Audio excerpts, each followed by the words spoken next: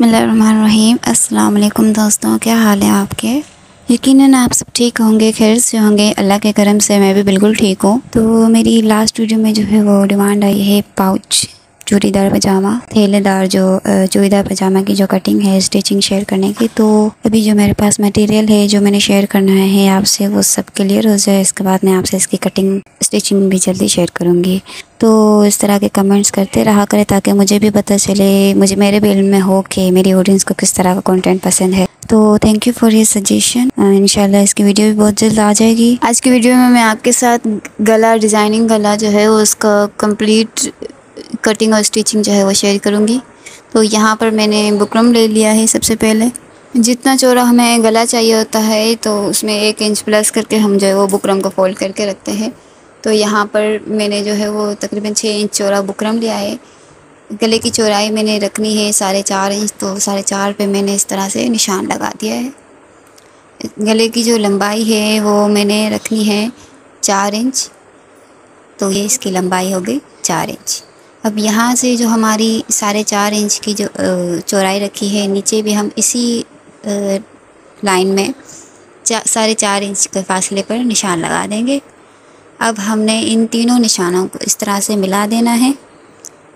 हमें इसकी गोलाई बनानी है तो गोलाई बनाने के लिए इस तरह से इजी हो जाता है ना बनाना। अब यहाँ पर हमारे पास एक कॉर्नर बन गया है तो यहाँ से हमने जो है वो तकरीबन डेढ़ इंच ऊपर आना है। डेढ़ इंच पे इस तरह से हमने यहाँ पर निशान लगा देना है। डेढ़ से पौने दो इंच तक क्योंकि हमें ज़्यादा डीप नहीं करना है। इसलिए तो जितना आपने डीप करना हो तो उतना ही आपने कम रख आप इसको कम रख सकते हैं। अब हमने इसको इस तरह से गोल कर लिया है, मिला दिया है इसको। अब यहाँ पर मैंने जो है वो इस तरह के कुछ फ्रेम्स कट करके रखे हैं। तो ये जो है वो इजी हो जाते हैं। अब मैं, मैंने जो है वो तक, सबको जो है वो बराबर रखना है तो मैं यहाँ पर इस तरह से निशान लगा दूँगी इतने जो है वो मुझे सेमी सर्कल्स चाहिए। तो ये निशान जो है मुझे इजी हो जाएगा बनाने में। तो अब इसी निशान को हमें फॉलो करते हुए इस तरह से राउंड राउंड बनाते जाना है। अब ये हमारा जो है वो ऊपर का जो गला है वो तैयार हो चुका है। अब हमने इसकी बटन पट्टी बनानी है तो इसके लिए मैंने यहाँ पर जो है वो तकरीबन 14 इंच तक नीचे जाना है। चार इंच का हमारा गला आ जाएगा। इसके अलावा 10 इंच की जो है वो हमारी बटन पट्टी जो है वो आ जाएगी। अब यहाँ से हमने क्या करना है कि जो मार्किंग हमने की है, यहाँ से हमें एक इंच के फासले पे इस तरह से निशान लगा देना है। हमें जो है वो इतना चौड़ा बुकरम लेना है पट्टी बनाने के लिए। तो एक एक इंच पर आपने इस तरह से निशान लगा देना है। नीचे से भी आपने एक इंच का ही निशान लगा देना है। अब आपने स्केल की मदद से इसको बिल्कुल स्ट्रेट लाइन इस तरह से खींच देनी है। एक इंच के फासले पर। जितना चौड़ा आपने बुकरम लेना है, इतने, एक से डेढ़ इंच का अपने फासले पर इस तरह से लाइन लगा देनी है। इसके अलावा ऊपर जो हमारा गला था, उसकी भी यहाँ से हमने गोलाई कर लेनी है। मार्जिन जो हमने रखना है, एक एक से डेढ़ इंच वो आपकी अपनी मर्ज़ी है। अच्छा अब हमने यहाँ से इसको सेंटर से इस तरह से कट कर लेना है। जो हमने इसकी बटन पट्टी बनाई थी, वहाँ से हमने इसको कट कर लेना है। इससे पहले एक प्रोसेस होता है, लेकिन वो मुझसे मिस हो गया था। वो फिर मैं आगे आपके साथ शेयर करती हूँ। तो ये इस तरह से गला बन गया है। प्रोसेस ये था कि जितना हमें ऊपर से ओपन रखना होता है, उसको हम थोड़ा सा कट करते हैं। तो ये बटन पट्टी जो है, हमें थोड़ी सी ऊपर रखनी है। जितनी हमने ओपन रखनी है, उसकी जो है, वो हम वी शेप में कटिंग करेंगे। तो ये मैं रिकॉर्ड करना उस वक्त भूल गई थी, लेकिन बाद में फिर मुझे मुझे याद आया तो फिर मैंने कर दिए अब यहाँ मैं जो चीज़ आपको बता रही थी वो ये थी कि, यहाँ से हमने जो उसको थोड़ा सा वी शेप में कट करना है तो उसके लिए हमने यहाँ से इसको पॉइंट टू यानी कि आपके इंच में टोटल आठ लाइंस होती है ना तो आपने क्वार्टर लेने तो क्वार्टर में दो लाइंस आ जाती हैं तो ये इंच में आपके दो लाइंस जितना आपने फासले पे निशान लगा देना है। इसके बाद आपने नीचे जितना आपको डीप रखना चाहें उतना आपने नीचे इसको निशान लगा देना है। मैंने यहाँ पर दो इंच में निशान लगाया है। क्वार्टर इंच जो है वो चौड़ाई है और जितना आपने ऊपर रखना है, उतना जो आपने लंबाई रखनी है तो लंबाई मैंने दो इंच रखी है। दो इंच मुझे जो है वो ऊपर से ओपन रखना है। तो इस तरह से मैंने ये इसको मिला दिया लाइन लगा दी। अब मैं इसको कट कर दूँगी। तो कट करने के बाद आप देख सकते हैं कि ये इस तरह से थोड़ा सा हल्का सा वी शेप में आ गया है। तो ये गले की मुकम्मल कटिंग हो चुकी है। अब हम इसको स्त्री की मदद से कमीज़ पे चिपका देंगे। अब हमने जो है वो इसकी बुकरम जो हमारी डिज़ाइन है, इसको फॉलो करते हुए सिलाई लगानी है। बिल्कुल कॉर्नर्स पे सिलाई लगा लेंगे इस तरह से। पीछे आप कोई भी कपड़ा रख सकते हैं। मेरे पास ये कपड़ा जो है वो नहीं था और ब्लैक में भी नहीं था तो ये टुकड़ा पड़ा हुआ था, छोटा सा तो मैंने पीछे रख दिया है इसके। ये हमारा जो है वो फोल्डिंग के लिए काम आ जाएगा। अब हमने बिल्कुल कॉर्नर्स पे इसके सिलाई लगा लेनी है।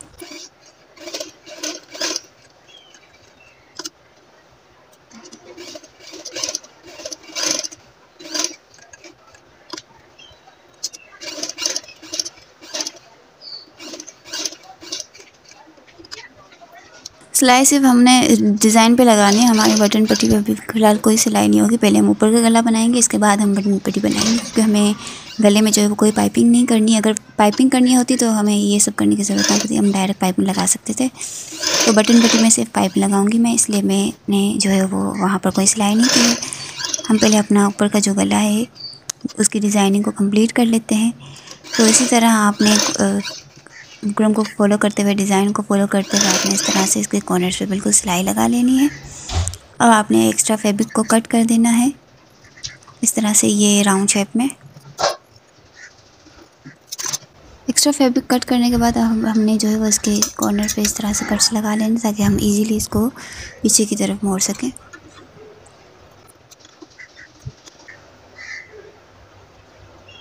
कट करने के बाद हम जो है वो उसको पीछे की तरफ़ इस तरह से मोड़ देंगे।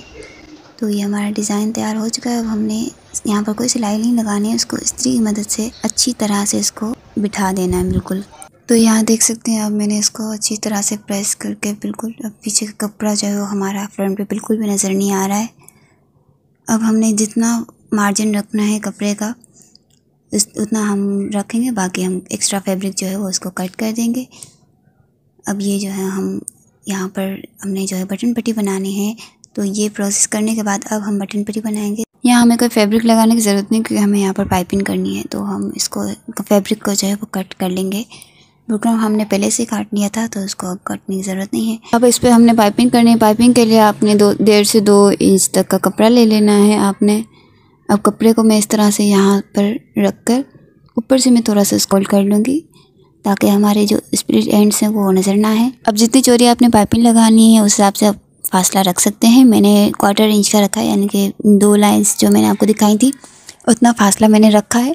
उससे पहले हम उसको ऊपर से पक्का कर लेंगे। अब नीचे जो हमने फैब्रिक जो हमने ऊपर गला बनाया है, इसका फैब्रिक को थोड़ा सा फोल्ड कर लेंगे, ताकि हमें तुरपाई के दौरान जो है वो ईजी हो जाए।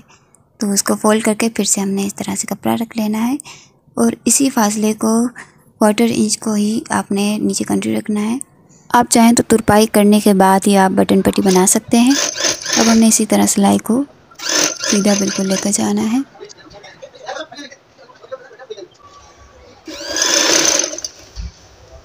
यहाँ हमारा बटन पट्टी का जो कट है वो ख़त्म हो जाता है तो इसके हमने क्वार्टर इंच नीचे आके इसको इस तरह से घुमा देना है और फिर हमारी दूसरी साइड की जो पाइपिंग है, उसको इस तरह से रख के सिलाई लगा लेनी है। फासला आपने क्वार्टर इंच का ही रखना है।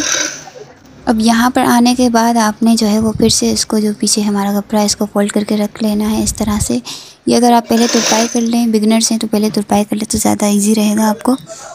अब इस तरह से हमने पाइपिंग को भी थोड़ा सा फोल्ड करके यहाँ से हमने इसको पक्का कर दिया है। अब हमने पाइपिंग को इस तरह फोल्ड करके और स्त्री की मदद से अच्छी तरह से बिठा देना है। यहाँ कोई सिलाई नहीं करनी है। हमें इसको स्त्री की मदद से बिठा देना है। देखिए इस तरह से स्त्री की मदद से जितनी हमें पाइपिंग चाहिए थी। यहाँ मैंने कोई सिलाई नहीं लगाई है, इसको स्त्री मदद से अच्छी तरह से बिठा दिया है मैंने इसको। अब हमने यहाँ पर सिलाई करनी है, लेकिन जितना हमने ओपन रखना है उसको बंद करने के लिए हम जो है वो सेंटर में पट्टी लगाएँगे। इसके लिए मैंने तीन इंच का चौरा कपड़ा लिया है, उसको फोल्ड करके इस तरह से ऊपर से मैंने इसको बंद कर दिया है। एक साइड से आपको उसको बंद कर देना एक साइड से आपको उसको जो है ओपन रखना है। अब हमने इसको बिल्कुल सीधी सीधी सिलाई लगानी है, ये हमारी पट्टी तैयार हो चुकी है। अब हमने इसको सीधा कर देना है, यहाँ पर मैंने पेंसिल की मदद से इसको इस तरह से सीधा कर दिया है। एक साइड जो हमने उसका खुला रखा था, अब हम इसके जो है वो अच्छी कॉर्नर्स को अच्छी तरह से बाहर निकाल देना है। अब जितना हमने ऊपर ओपन रखना है तो उतना आपने जो है वो उसको यहाँ पर आपने पट्टी लगाई तो ओपन मुझे जो है वो दो से ढाई इंच तक रखना है। तो यहाँ पर मैंने जो है वो ढाई इंच तक मैंने जो है वो इसके पट्टी यहाँ पर रख दी है। अब हमने पाइपिंग के बिल्कुल कॉर्नर्स पर कपड़े पे सिलाई लगा ली इस तरह से बिल्कुल कॉर्नर पे। और जितना हमने खुला रखना है, उसके बाद हमने ढाई इंच हमने ओपन रखना था। सिलाई लगाने के बाद ढाई इंच आपने नीचे आना है, ढाई इंच निशान जो आपने लगाया था, वहाँ पर आने के बाद आपने ये पट्टी नीचे रख देनी है इसकी। अगर आप इस्त्री की मदद से इसको लगा देते तो ये आपको बहुत इजी हो जाता है। जैसे मैंने इस्त्री की मदद से पाइपिंग को अच्छी तरह से बिठा दिया है तो अब मुझे पट्टी लगाने में बिल्कुल भी मुश्किल नहीं हो रही थी। तो अब हमने इस तरह से इसको सिलाई लगा लेना है।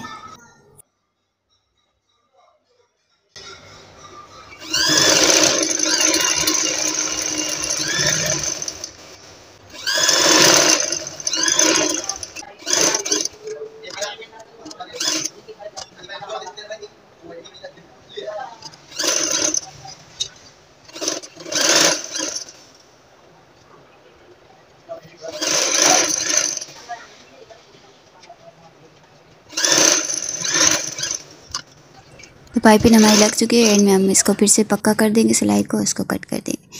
तो ये देख सकते हैं, हमारा जो पीछे जो फैब्रिक था, वो बिल्कुल भी नज़र नहीं आ रहा है, और बिल्कुल सफ़ाई के साथ हमारी पाइपिंग भी लग चुकी है। और पीछे ऊपर जो है, वो हमारा, देख सकते हैं, यहाँ हमने तुरपाई की है। कोई सिलाई नज़र नहीं आ रही है गले में, हमारी सिर्फ़ पाइपिंग की जो सिलाई है, वही नज़र आ रही है, जो हमने पट्टी में लगाई थी।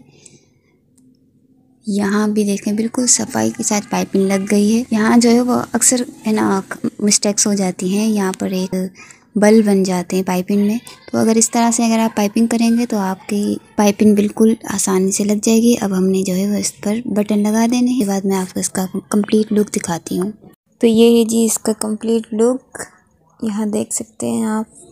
बिल्कुल सफ़ाई से हमारा गला तैयार हो चुका है। यहाँ मैंने दो कलर में बटन लगाए हैं। एक ब्लैक और एक वाइट में, इस तरह से। दो दो करके मैंने यहाँ बटन लगा दिए हैं। यहाँ से ऊपर हमारा थोड़ा सा ओपन है और ये ऊपर हमारा डिज़ाइन हो गया।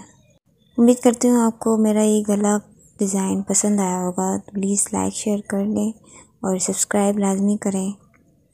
और अपनी दुआओं में ज़रूर याद रखिएगा। मिलते हैं जी नेक्स्ट वीडियो में। हाफिज़।